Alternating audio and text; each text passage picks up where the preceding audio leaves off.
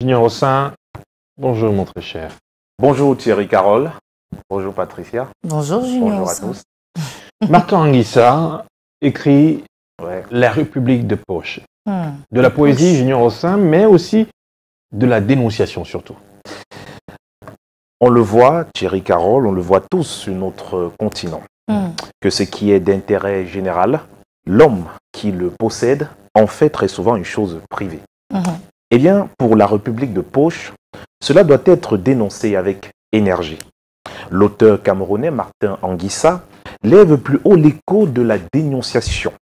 Le recueil de poèmes ici présent invite le lecteur à voir certains gouvernements comme un obèse toujours affamé qui ignore l'existence du peuple.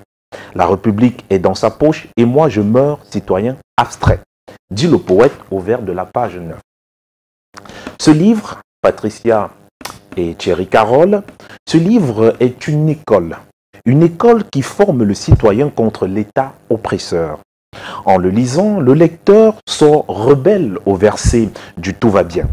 C'est comprendre comment fonctionne une république et déceler les signes d'un dirigeant qui est ou sera plus que le peuple. L'auteur parle de l'idiotie des présidents hors peuple. Lui en page 10. 52 poèmes couchés dans un recueil de 55 pages vont amener le lecteur à être un citoyen consciencieux, à avoir l'esprit ouvert et du discernement. Trop longtemps, on a été un citoyen. Cependant, ce livre définit le caractère du bon citoyen. Ce dernier ne voit pas en l'État un ennemi, mais une part de lui-même qu'il peut juger et rejeter si l'action ne garantit pas l'intérêt général. Thierry Carole et Patricia. Le poème intitulé Refus de la page 11 apporte des connaissances là-dessus. Ceci est également le chemin le plus court vers le vivre ensemble, disons-le maintenant, puisque en ce moment même, le concept est en vogue au Cameroun.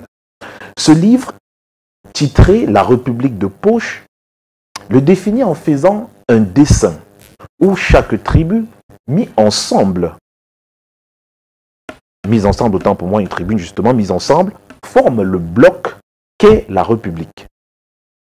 Page 11 et 28, parce que partout, nous sentons trop notre peau et ses défauts. Eh bien, Martin Anguissa trouve alors des mots de poète pour nous dire occupe-toi de ton pays et donne à ton âme une atmosphère de hauteur. Lire ce livre, c'est briser le mur imaginaire du conformisme. C'est briser justement le mur qu'on ne peut pas voir de près. C'est vouloir justement et savoir simplement débloquer la trajectoire des victoires en étant un citoyen modèle qui choisit d'aimer la République et d'aimer le peuple qui la constitue. Junior Rossin, est-ce qu'il ne s'agit pas d'une incitation à la révolte quand on écoute ce que vous dites de, euh, justement de ce recueil de poèmes à l'instant? Qu'en est-il? Alors, Patricia, Oui, je vais me rassurer de Mhm. n'avoir pas perdu mes notes. d'accord. Oh que non, je vais répondre ainsi. Même si les poèmes des pages 31, 24 et 11 Mhm. blâment la nonchalance d'un peuple, ils ne dominent pas les 49 autres poèmes, Patricia, qui se contentent de créer, Thierry Carole, un cadre académique où le lecteur prend plaisir à définir les concepts tels que l'État, les élections, la fraude, la République, le citoyen, l'intérêt général, le vivre ensemble et l'identité nationale. D'ailleurs, à la fin de la lecture de ce recueil de poèmes, l'individu passe d'un état zombifié à un état plus humain, plus social, plus que jamais déterminé à apporter sa part de pierre à la mosaïque étatique. Ceci n'est donc pas un appel à la révolte, Patricia et Thierry Carole, ni un réveil de conscience au sens politique du thème lié à l'opposition. Ceci est plutôt une bonne lecture des pratiques qui tirent l'Afrique vers le bas et que l'Africain doit comprendre pour relever le continent. On ne peut résoudre un problème si on ne le comprend pas. Eh bien, comment lutter contre le tribalisme, comment lutter contre les discours haineux, comment lutter contre la corruption, comment lutter contre le favoritisme, comment lutter contre la démagogie, comment lutter contre la gabegie, etc. Première étape, nous dit le livre, eh bien, première étape de lutte, la compréhension et l'explication des faits ou des choses vues en sociologie, si on veut. En clair, lire ces poèmes, c'est savoir qu'il n'est pas bon de parler des choses qu'on ne maîtrise pas et de combattre celui qu'on ne connaît pas.